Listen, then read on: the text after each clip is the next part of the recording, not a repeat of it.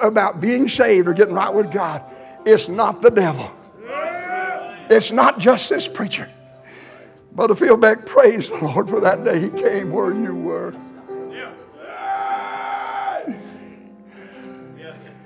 He's speaking to you, sir. He's speaking to you, man. What's he saying? He's not saying stay in the pew. If somebody said you stay in the pew, that's the devil. But he's saying, just as you are, without one plea, come.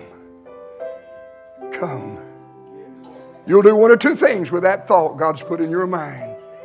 You'll reject it, trample it under feet, and go on, and no telling what sin holds for you on down the road. But if you'll be like them lepers, if we can just make it over to the enemy territory, God's really not your enemy, but you think you are when you're saved, when you're unsaved. And they, they obeyed what God put in their heart. Look at this. I've got to close. Look at this. Brother Gravely, they were undeserving sinners Yes. of God. They were undeserving of God's mercy. But then they become undeserving recipients of God's grace. They had an unusual responsibility, an urgent responsibility to go tell others. But unusual reward for obeying God. It's not just you.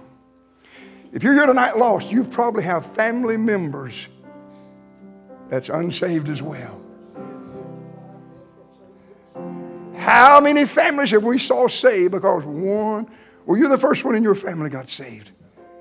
And now there's old Matt and the others. Hey, look at me, please. Look at me, please. Look at me, please. Are you hearing something in your mind? Are there thoughts going on in your mind?